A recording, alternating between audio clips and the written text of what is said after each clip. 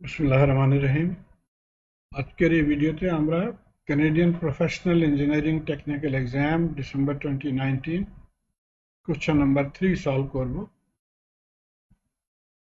এই কোশ্চেনটা গিভেন ছিল in the figure switch was initially closed সুইচটা বন্ধ ছিল for a long time at t is equal to 0 it is open so t is equal to 0 তে এটাকে open করে দিবে খুলে দিবে এবং আমাদেরকে এই প্যারামিটারগুলো ক্যালকুলেট করতে হবে V zero plus DV zero DT IC zero plus and V infinity এবং দ্বিতীয় ভাগে VCT general voltage across the capacitor general equation for voltage across the capacitor এখন এই কোশ্চেনটা ভেরি কনফিউজিং যখন আপনারা সলভ করবেন অবভিয়াসলি আপনারা প্রথমে এটাকে সলভ করার চেষ্টা করবেন, তারপরে আপনারা এটাকে সলভ করার চেষ্টা করবেন।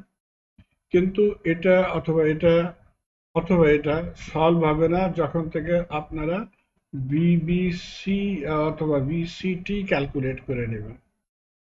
সো আমি এটাকে নাম্বারিং করে দিয়েছি সো আমরা মনে রাখব এটাকে কোনটাকে প্রথমে সলভ করব, প্রথমে আমরা এটাকে সলভ করব, তারপর এটা সলভ করব। তারপরে বি সি এবং ডি প্রথম ভাগটা ছিল ভিসি জিরো প্লাস এখন আপনারা জানেন জিরো প্লাস এবং জিরো মাইনাসের কনসেপ্ট কি আছে? যে আপনারা জানেন না, আমার একটা ভিডিও আছে সেটাকে আপনার দেখে নেবেন। যখন এই সার্কিটটা ক্লোজ হবে, তখন কি হবে? এই ক্যাপাসিটারটা চার্জ হয়ে যাবে টু দি ফুললি চার্জ হয়ে যাবে টু অ্যাপ্লাইড ভোল্টেজ এবং তখন এটাকে আমরা নাম দিব ভিসি জিরো মাইনাস যেমন কি এই ছবিতে দেখেন। এখানে দেখেন এটা চার্জ হয়ে গেল, যখন ফুললি চার্জ হয়ে যাবে তখন এটা বিহেভ করবে লাইক অ্যান ওপেন সার্কিট এবং এটার এগেনস্ট চার্জ যে ভ্যালুটাকে আমরা বলি ভিসি জিরো মাইনাস এখন এই ভিসি জিরো মাইনাসের ভ্যালু কি ছিল?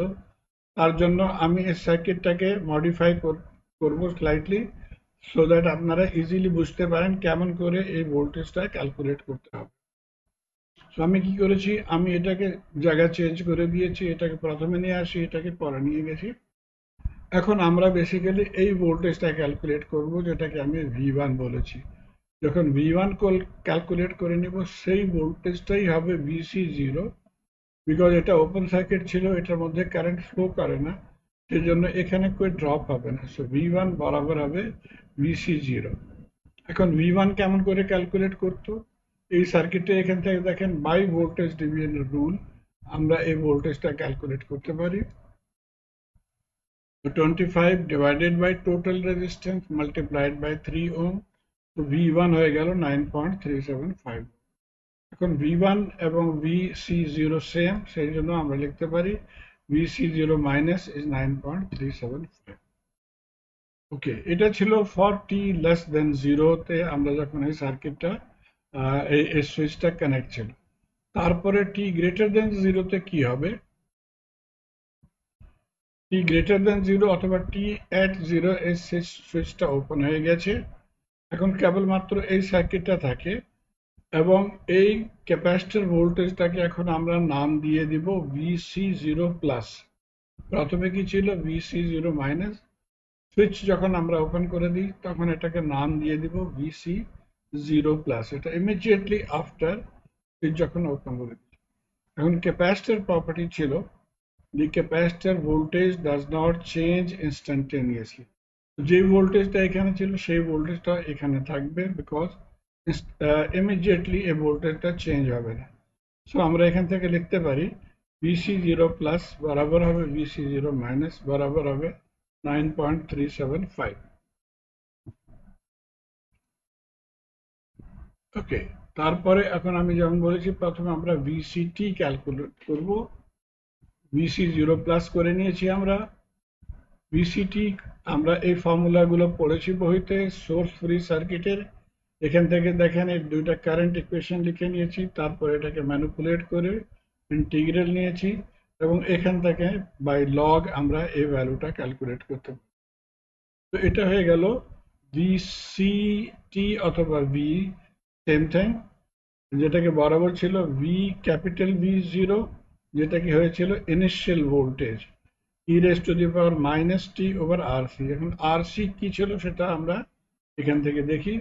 আমাদের এই সার্কিটটা ছিল যখন এটাকে ওপেন করে দিয়েছি, তখন কেবলমাত্র এই সার্কিটটা থাকবে। এটা এখন আমাদের আর সি সার্কিট আর কত ছিল? দেখেন সিরিজে যাচ্ছে রেজিস্ট্যান্স সেই জন্য আর এর ভ্যালু হবে ফাইভ এবং সি ছিল জিরো পয়েন্ট ফাইভ তো আর সি বরাবর হবে five into zero point five two point five second তো টু পয়েন্ট ফাইভ সেকেন্ড এখানে আমরা ইউজ করব এবং ভি জিরোর জায়গাতে আমরা ভিসি প্লাস ভ্যালুটা যেটা ছিল nine point three seven five সেটাকে আমরা ইউজ করব। ভি জিরো বরাবর ছিল VC zero plus nine point three seven তো আমাদের জেনারেল ইকুয়েশন ভিসিটি অথবা ভিটি বরাবর হবে nine point three seven five E raise to the power minus T over two point five তো এটা দ্বিতীয় ভাগটা হয়ে গেল। এখন এগেন আমরা will go back to part B of first question DV DT পতা জন্য আমাদের, আমরা, এটা ছিল ভি ইকুয়েশন ভিটি ইকুয়েশন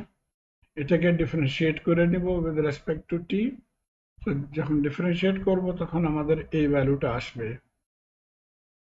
আমি আশা করি আপনারা জানেন কেমন করে ডিফারেন্সিয়েট করতে হয় ই এর ভ্যালুটা এটা minus one divided by two five two point ফাইভের সঙ্গে মাল্টিপ্লাই হয়ে গেল। তারপরে এখন আমাদের জিরো পাতা করতে হবে so R T is equal to zero অথবা জিরো প্লাস এটা হয়ে গেল ডিভি ডিটি জিরো প্লাস এবং এখানে টি এর জায়গাতে আমরা জিরো পুট করে দেব। তো E raise to the power zero হয়ে যাবে, যেটাকে বরাবর হয় ওয়ান তো ডিভি ডিটি জিরো বরাবর হয়ে গেল negative three point seven five volts per second তো part B of question one solve করে নিয়েছি। এখন পার্ট সি পার্ট বলা হয় আইসি জিরো প্লাস এই দুটো প্যারামিটার অলরেডি আমরা ক্যালকুলেট করে নিয়েছি। আমরা কারেন্ট ইকুয়েশন জানি ক্যাপাসিটর কারেন্টের ফর্মুলা ছিল I is equal to C DV over DT এখানে লাইন হবে একটা। ওকে তো at t is equal to 0 ic 0 হয়ে যাবে অথবা i 0 c এবং dvc dt 0 প্লাস এই ভ্যালুটা অলরেডি আমরা ক্যালকুলেট করে নিয়েছি সি ভ্যালুটা আমরা জানি 0.5 অথবা তো 0.5 into minus three point seven five তো আই সি জিরো প্লাস হয়ে গেল negative one point eight seven five এবং ফাইনালি vc ইনফিনিটি এগেন আমরা আমাদের জেনারেল ইকুয়েশন ছিল ফর দি ভোল্টেজ এখানে আমরা T is equal to infinity put করে দেব। T is equal to infinity v infinity এখানে উপরে ইনফিনিটি হয়ে যাবে এটার ভ্যালুটা কি হবে তার জন্য আপনারা এখানে দেখেন e raise to the power infinity divide by two point five will become infinity so e raise to the power minus infinity এটাকে আমরা এই মতো লিখতে পারি one divided by e raise to the power plus infinity e raised to the power infinity is equal to infinity. So 1 divided by infinity. Anything divided by infinity is 0. So a ভ্যালুটা হয়ে গেল বরাবর 0.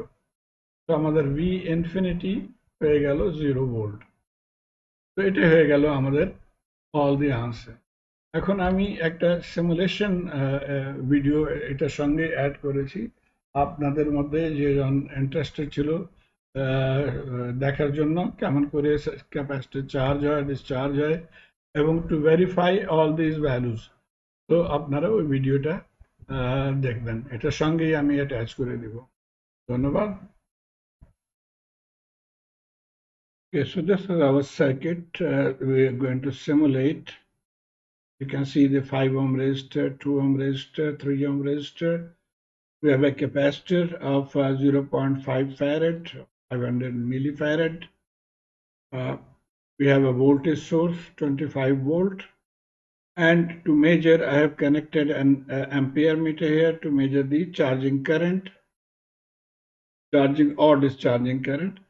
And also to monitor the charging voltage we have connected a voltmeter and you can see this in the scope also.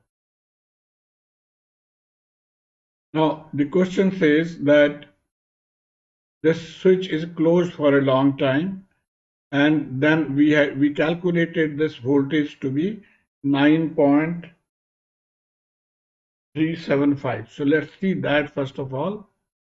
Let me close this switch and let me run it. And we are running it at a high speed. So you can see the voltage is gradually increasing. From the graph also you can see from zero level it is gradually increasing and this is the voltage level 5.5 now 6 so keep monitoring this and when it goes to 9.375 the charging current should stop and this should be level up.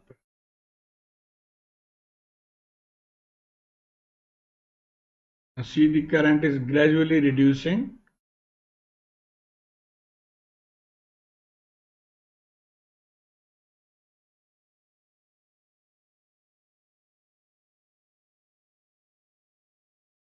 so we are nearing now 9.1 we need 9.375 as per our calculation for the capacitor to fully charge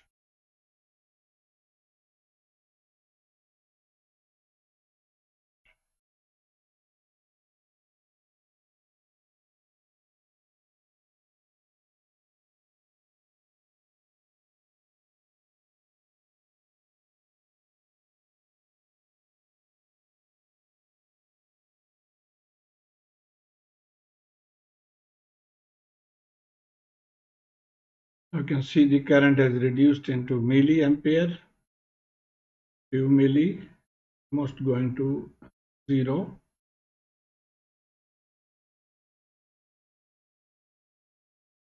We're looking for 9.375 here and the current should stop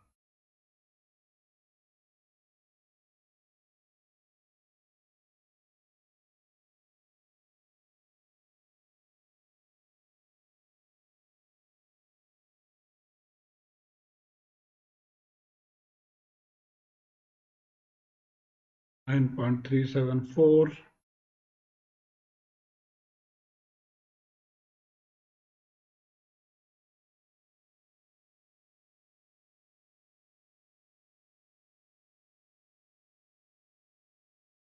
and at 9.375 it is almost zero. See should get zero. And you can see now this is almost a straight line. So the capacitor is fully charged at 9.375 and there is no more charging current. So this is this voltage we are calling v0 minus. And now when we open this switch we are saying that v0 minus and v0 plus should be same for few uh, microseconds.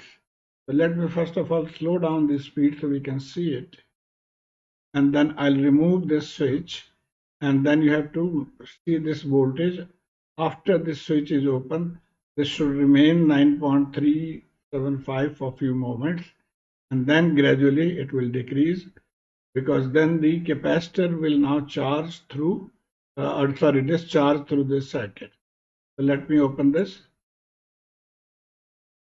Okay, so this has been opened and now you can see 9.375 it is holding holding and now it is drawn to 374 and gradually it is will reduce very slow. Now uh, uh, this we are clear so now let me just go it faster. So increase the speed and you can see now it is discharging it is going down. This is the discharge path and the uh, one of the answer question is what will be the V infinity? V infinity means for a very long time when the switch is open and that means when the capacitor has fully discharged uh, through this so logically it should discharge to zero and we'll see that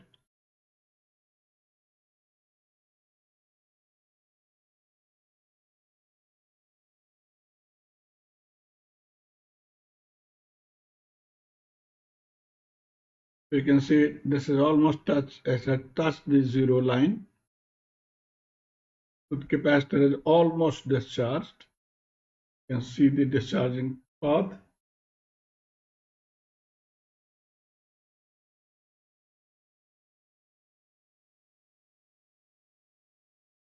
you see the discharging current has reduced almost to zero.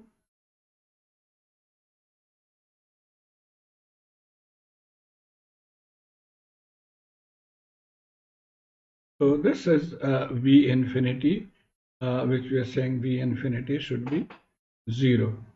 See the current has almost depleted completely. The capacitor is almost discharged. So I hope uh, uh, you have enjoyed this. You have watched this phenomena, how capacitor is charging and how it is discharging. Thank you. Stop it.